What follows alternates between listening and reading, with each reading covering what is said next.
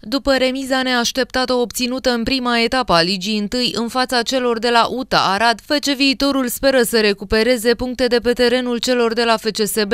Constanțenii joacă duminică seară la București și debutează astfel într-o serie infernală de meciuri în care vor întâlni numai puțin de cinci dintre echipele care au evoluat în play-off în sezonul trecut.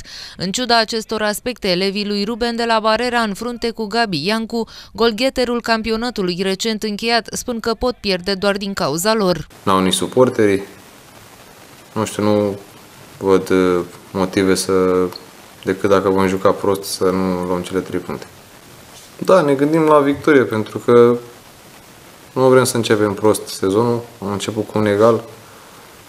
Ok, n-am pierdut, dar trebuie să ne gândim că fiecare meci trebuie să-l câștigăm și doar așa ne vom menține acolo sus unde ne-am propus. Instalat de scurt timp în funcția de manager tehnic al celor de la FC Viitorul, după retragerea lui Gheorghe Hagi, Ruben de la Barera are parte de un prim derby în Liga 1. El a părut să nu fie însă la curent cu modificările din ultimii ani, confundând Steaua București cu FCSB. We are conscious uh, what about uh, we are playing against, so in this case Steaua, a very good challenge for, for us, and it's uh, the kind of matches we want to, to play, no? Uh, so all of them are important, but in this case, okay, playing against one of the best team in this in this country and, and in Europe because it's obvious they have uh, an important history uh, behind.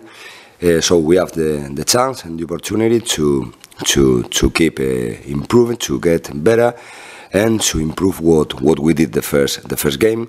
And the most important thing is try and to believe we can win the, the game. După prima etapă disputată în noul sezon al Ligii 1, FC Viitorul este doar pe locul 7 cu un singur punct, în timp ce FCSB este lider cu 3 puncte, grație golaverajului. FCSB FC Viitorul, contând pentru etapa a doua a Ligii 1, se dispută duminică seară cu începere de la ora 21.